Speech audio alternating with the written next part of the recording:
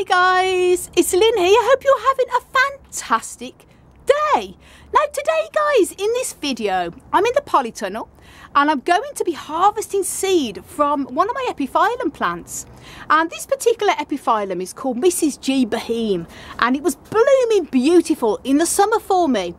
And I love to pollinate flowers and try my luck. Sometimes it's a success, sometimes it's not. As in this case, it was a success and I have two big juicy fruits on this epiphyllum just ready for the harvesting. That's the old flower part there that dies back. And if you want to know how to um, pollinate epiphyllum flowers, then please do check a video I have made on how to pollinate epiphyllum flowers to get seed. And while it's far easier to grow, to propagate epiphyllum from cuttings, because in the springtime when you have to prune these plants back, or if you want to prune them back, they're very easy just to let the, let the cuttings dry for a few days and pot into a sandy, a, a nutrient sandy soil and they'll root pretty easy. But it is so much fun to grow from seed, especially when you pollinate them yourself. And as I say, explain more in the how to pollinate um, epiphyllum cactus flowers. So please do check that video if you want to know how to do it. May have to wait now for next year when they're flowering. But um, some of these, these epiphyllums do sort of flower at this time of year. As you can see here, I have my absolutely beautiful epiphyllum zigzag um, cactus blooming beautiful there but that's going to be a separate video so do stay tuned for that guys if it's not gone on already gorgeous so if it's flowering at this time of year go ahead and pollinate if not you'll have to wait till the spring but once you pollinate the flowers you'll know if it's a success because the, usually the flowers dry back like this and fall off within a few days. But if it's pollinated, it, they, these will dry back like that and stay on. And then a fruit will start to form over the coming weeks. And bear in mind that this was probably about six months ago now when I pollinated it. And it can take that long for the fruit to be ready. There's really no time scale because sometimes it can take anything from a few weeks to um, a few months as in this case six months to be fully ready to harvest. And you'll know when they're ready to harvest because the fruit will start you'll feel it and it will feel very soft and um, almost like a big juicy grape. And as you can see, the, the resemblance to a dragon fruit as well there. Obviously it's a epiphytic cactus, so it is similar. And um, two different sizes quite interesting there to show the difference. This one is already starting to go a little bit bad like rotten fruit so this is way overripe. So this is desperate to be harvested. And this one here is a little bit more firmer but it's still soft so this is definitely ready for the picking. And what I'm going to be doing in this video is harvesting these and um, put them into this bowl here. Then I'm going to take the fruit into the house. I'm going to burst the pods open, spread all of the seed and pulp that's inside these fruits onto the paper towel. Probably leave it for a few hours or it could be even a day or two depending on how long the, the pulp dries. And then I'm going to separate the um, the pulp, the, the seeds from the from the paper towel because the pulp will be dry and the seeds will come away very gently when I when I rub my fingers over them then, they're ready then to sow or store to the following following um, time you're ready to sow the seed. And I've promised a few of my subscribers you know who you are um, with these seeds. So you do know um, these seeds are all taken now if anybody's asking me I've got a list of subscribers after these. Um, so they're going to be once it's harvested they're going to be mailed out out to them people waiting for them. So how do you know how do you do it then? Obviously you don't get the scissors and cut it off. As I say, you'll know when it's ready to harvest because it'll feel nice and squodgy and also the lovely, some, some of them do go different colours so you can't necessarily say it's going to be red but in this case it's red and what you do is very gently twist like that. You don't need to cut, gently twist, you don't want to harm the harm the plant and it will come away like that. Look how easy it is. You just leave a little, that'll just dry up with no problem. And that's there, the lovely juicy fruit. And yep, all cactus fruit is edible. And I have tried a few epiphyllum uh, fruits before when I've get a bit of the pulp when I've been doing the seed and they do taste delicious like a bit like dragon fruit actually nice and uh, sweet so as I say that's a bit overripe there but um, that's typical of fruit and there we go. So that's the first one. That is all the old dried flower head. When it when the, the fruit is developing, you can cut this off if you want to, but I sort of leave it on. I think it looks quite cool. And then this one here, again, is a little bit more, bit more firmer. But you'll know, as I say, if it's not, if it doesn't come off easily, you know it's not ready to harvest. But this is coming off very easy there as well. There we go. Happy days. And what I'm going to be doing now is bringing these into the house, um, breaking breaking these the fruit up, which I'm going to show you, and um, then separating all of the pulp and the seed onto a paper towel, leaving it for a few hours or up to a day or two till the, till the paper towel is totally dry and the pulp is dry, and then rubbing my finger over the towel to separate the seeds. Happy days, guys. Now I'm in the house now. I bought the two juicy seed pods uh, in here. And uh, before we go any further, I want to give a very special thank you to my wonderful fiance Hans, who is behind the camera filming me now, so I've got my hands free. And if you're not familiar with Hans's channel, do go over and subscribe. Uh, Family of Cats and Other Beauties links up above. and um, I changed a plan. I was going to use tissue to um, separate the pulp from the seed. But because this, as you can see, it's like a huge tomato, it's huge. There's going to be a lot of pulp, so I'd have to use a lot of tissue. Um, and in this case here, I've decided to go for a clean tea towel because this can then go in the wash after. And look at that. A funky cactus one. Can't touch this. and uh, putting it on there like that. So if you have a large cactus fruit, you may be better off possibly using a tea towel, not necessarily a towel that's got loads of them sort of fluffy bits on because you want something that's going to be easy to remove the pulp. And as I say, once I spread all the pulp across, probably have to leave it for a few hours or until it's dry and then be able to gently rub it off here. Now, what we're doing here is cutting off the dried up flower, flower part here, which is a uh, Look at that, from the lovely flower.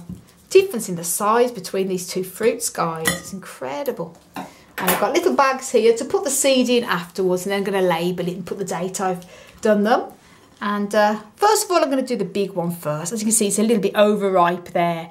Um, and yes, all cactus fruit, by the way, is edible because I'm often being asked, can you eat the fruit? You can. But in this case, I'm going to be using all the all the um, fruit then just to, for, for the seed. Well, not the fruit, um, the pulp. and what you do to break in, you can cut it with a little a little clean knife or scalpel. But I'm just going to use my, my fingers here and make sure your hands are absolutely clean so you're not spreading anything onto the seed. Burst it open. Look at that, guys. Oh, wow. And yep, it is just like a dragon fruit and it is very tasty because I've had et epiphyllum fruits before. Just get it out there. As I say, there's a lot of pulp. Look at that guy. Isn't that just gorgeous? Oh, and uh, you can actually smell it as well. It is tasty. And there's a little bit of pulp left after. I'll probably eat some of this. Peeling the skin, again that seed in there. And then what you want to do then is just spread it out. Literally just put your hands over here. And uh, although it might stain this tea towel, it doesn't really matter. Maybe not use one of your best. Most important thing is that the tea towel is or the towel, whatever you use to um, separate the pulp is totally dry.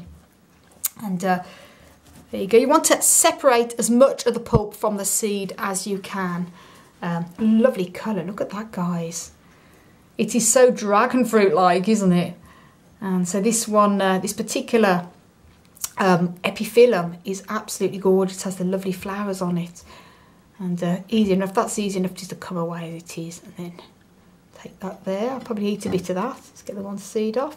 And as I say, these seeds we've already promised a lot of subscribers already. So if you're thinking, oh, I'd love some of seeds, sorry, they're all taken, guys. We've got a list for them, list of people to send them to. And that's it. And because actually, although there's a lot of pulp here, this again can all go. Remove what is easy to remove and the, the, the seeds that's difficult to uh, remove from the pulp because it's too compact will just dry out. And this is what I'm going to be doing is just spread all this across. I don't need to show the whole the whole thing it take a while. You just want to make sure you separate as many as possible. And here we go. I was doing a great job there showing you all the seed. And uh, more pulp here. Again, same thing, squash it down, spread it across. See why I used a, uh, a tea towel, can't you, rather than tissue? Would have been would have been a lot. And uh, say, spread it down. It's easier to do with your hands, but just don't put so much pressure on where you're going to hurt the seeds. The seeds are quite strongly in a nice sort of coated uh, a coat on them anyway, but you want to make sure that although you put pressure to separate the seed from the pulp, you don't damage the seeds at the same time. And you can see once it dries, as you can see there, it's just going to come away pretty easy then. So I'm going to do this with the rest of rest of this one here. It's another good. Get all the all the seeds away from the from the pulp on there. So that's a bit of a time consuming process. But uh, some people may have different methods, but I'm just showing you the method that I do, and this works very well, very well for me. As I say, some cactus fruits aren't as big as this, and some cactus uh, seed actually comes dry as well in little sort of dry pods where the you know the seed just crack the the pod and the seed just disperses pretty easy. So they don't all come in this juicy fruit. Um, there you go, that's that one there. Just get any more off. That can go. And then here. Might be the odd little bit of seed. I can't waste any of them. So that's that one done here. And to say any of the pulp that's got no seed in all this tiny bit can just come away straight away so I'm going to carry on separating this after then this little one here is only a little one again pop it open like oh like a little tomato oh look at oh god it smells gorgeous so say only the pulp left I'm going to eat. Oh, juicy. And on here. Separate it down. This one's much smaller, so this will be a lot easier. Wonderful. Look at that, guys. Oh, gorgeous. And the little bit that's left in the shell, again, possibly just to turn it, turn it outside like that, and then just scrape it again, like that. Which is amazing, isn't it? And the smell is just beautiful. But I just mentioned that so about eating the fruit is completely edible. But if you're the type of person, you know, if you have been using a lot of chemicals on your on on your plants and particularly on the fruits, if you've had bugs and things like that, I wouldn't advise eating them. You could say, well, fruit you get from the supermarket, it's always got pesticide on anyway, but I just personally wouldn't recommend that if that's the case. But in this case, I haven't with this um, particular cactus, so not a problem there. And uh, there we go. So what I'm going to be doing now is I'm going to carry on using my finger very gently to rub the pulp and the seeds away from each other and then remove as much of the pulp I can and then leave this then to completely dry so the tea towel is totally dry over the next few hours and then when it's dry I'm going to gently loosen the seeds away and then put them into the bags. I'm going to show you how I do that. So um, just going to uh, leave it now for a few hours and then show you when it's all dried. Now guys, that's the following day and um, this is all dried down here with all the seeds on and as I mentioned earlier you have to make sure that the towel or the paper towel or the tea towel, whatever you're using is completely dry. And then you want to gently loosen up these seeds like that. And you want to make sure that they are completely loosened because it may be impossible to get completely all of the pulp off everyone. But the the more pulp you can actually remove um, the better because if you sow seeds and it's got bits of pulp on, it's possible that you could get fungus into um, into the onto the seeds, I, I, should say, and then they could go into the seedlings. But pretty much, if you if you make sure they're all dry, they should stay like that'd be pretty good when you sow them. So just gently loosen it up like that. And then what I'm going to be doing then, I'm going to carry on doing this now rather than show the whole video. When they're all dry, then I'm going to put them onto the plate and then put them through here and then into, into these little baggies. So I'm um, going to carry on loosening these now then guys. That's all the seeds all took off the towel. Bit of a time consuming process and now I'm sort of gathering them all together. And what I would recommend with these, with this particular type of seed, as you can see, um, although I've removed as much of the pulp off as I possibly can, they are slightly sticky. So when it comes to sowing these, I'm actually going to soak them for a few hours in water first and then I'm going to um, drain the water out through a, probably a muslin cloth um, if you're familiar with that. So the seeds are kept in the muslin cloth and water comes through just to remove any remaining bits of the pulp that possibly could spread fungus onto the seed, the seed, um, yeah, onto the seed trays. So um, got the little baggies here and what I'm going to be doing now is this is always handy. and uh, scoop a few through there like that. Three little bags each. And the little scoops work really well so seeds don't go flying everywhere. So that's that these because we've promised these to a few different people there. So I've got different little bags. And I've labelled the bags as well. Obviously what, what the seeds are and also the date I've harvested them as well. And if you're going ahead and sowing seeds straight away after harvesting, you don't necessarily have to have to obviously put them in the baggies and label them, but as in this case, they're going to be sent to people, so they're in their little baggies. And uh, it's always good to store seeds if you're not sowing straight away in a cool, um, cool place away from direct heat and sunshine. And you can use paper envelopes as well if you prefer, but away from humidity. There we go, that's the other little one there. and as I say, because these particular ones, they're a little bit like dragon fruit type of seeds as well. I do recommend, and the people who I'm giving these to, if you're watching this, maybe soak the seeds just first, just for a couple of hours, um, and then run it through probably a muslin cloth just to catch the seeds and make sure the pulp is off before sowing them. There you go, that's the other one. And these two here. Very exciting. And uh, this particular beautiful um, Epiphyllum has gorgeous flowers on Mrs. G. Behan. And if you want to know how to grow cactus from seed, then links up above to a video I have made on how to grow cactus from seed. Um, it's always best, if, if you haven't got special grow lights and additional heat, it's always best to sow seeds probably in the early springtime or in the summer. But if you have um, got grow lights, in this case, and you're growing them indoors, you can certainly sow seeds at any time of year.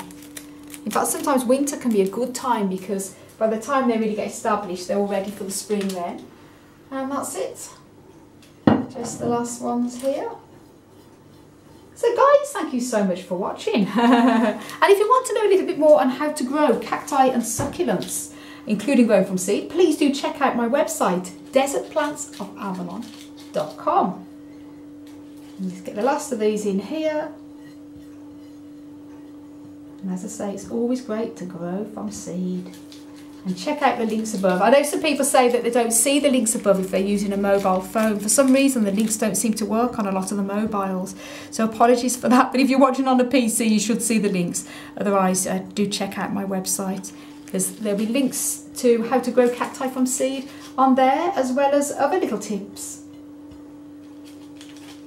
Nearly done. Hansi's doing a great job of filming there. And there we go, guys. Five bags of seeds. So guys, thank you so much for watching.